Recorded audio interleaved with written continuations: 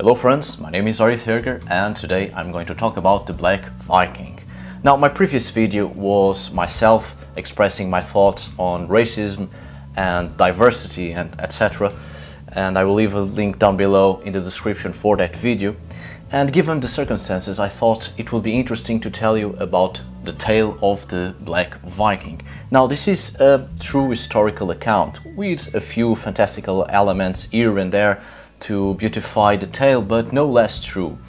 And I advise you to turn on the subtitles because there will be a few strange names, as it is normal when we are dealing with Scandinavian studies. So let's get started.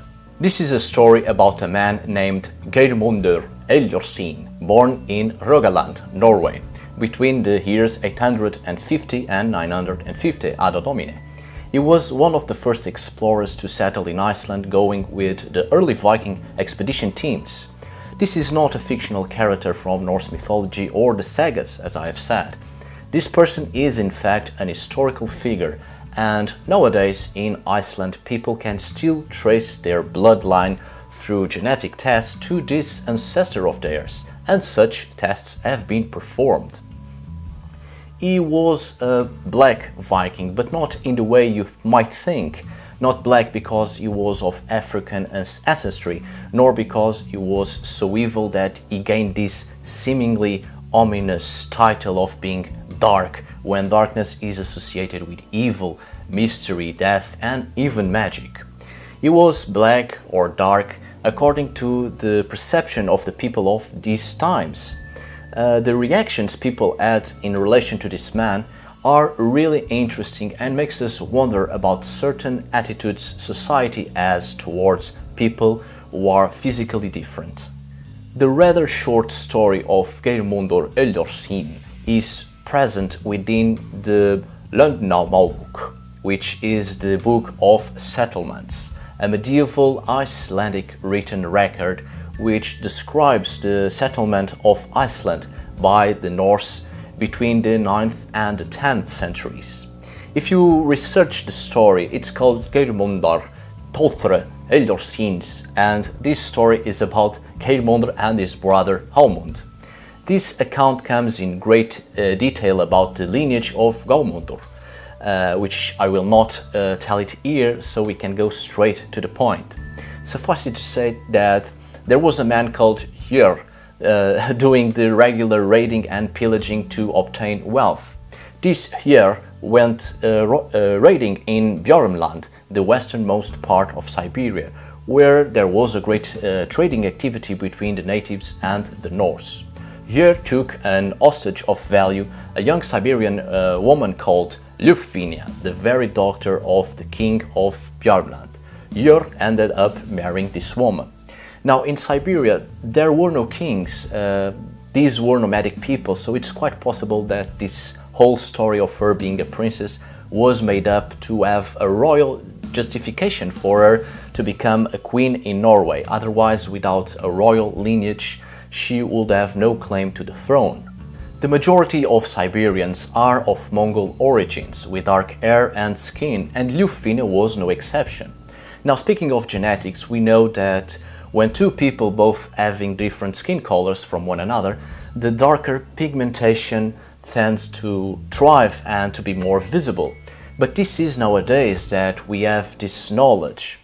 Back in medieval times, people expected their sons to follow their father's lineage, therefore more prone to look like their fathers. Hjör was a man with Nordic features, so people were surprised when Lufvine gave birth to two boys with dark hair and skin. To the ancient Scandinavian societies, people with darker skin colors were considered to be, well, black. But being black during these times, at least in ancient Scandinavia, wasn't necessarily a motive for prejudice, uh, intolerance. The only problem here was the fact that the father was white, tall, fair of hair and the social uh, belief that children should look like their fathers. These were patriarchal societies.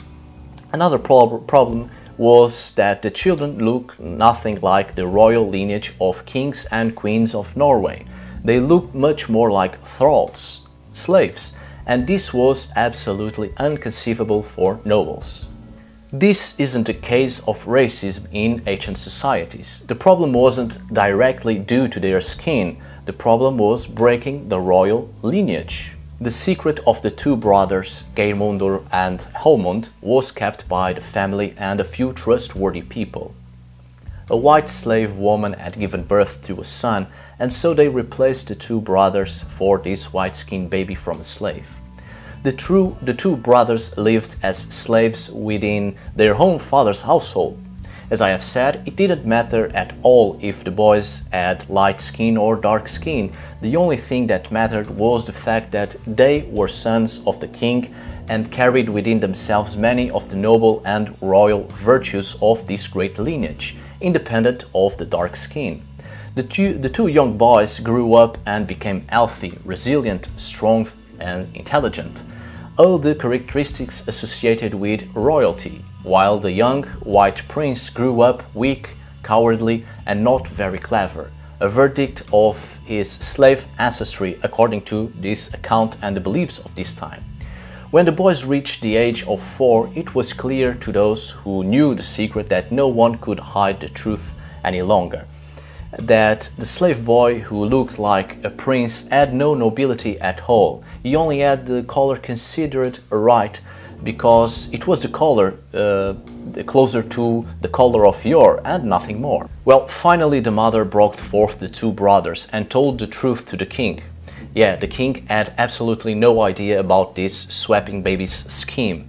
The king was only surprised by the color of their skins because he had never seen before such darker skins, but he believed the boys were his sons.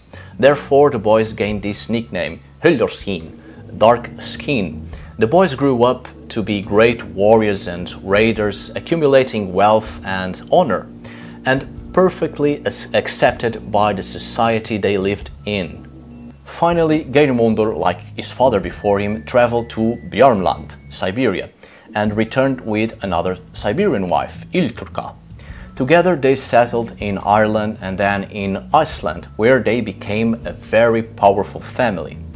The truth of this story has been confirmed by DNA tests of living Geirmundur's descendants living in Iceland, who have mitochondrial, well, maternal DNA, which indicates their mother's Asian Mongolian ancestry. Alright friends, thank you so much for watching and I hope you have enjoyed this short tale, which is an, a true historical account and I thought it would be interesting to present you with this story after the previous video I have done. So thank you so much for watching, see you on the next video, all the links to my social media are down below at the description. And, well, tack för idag!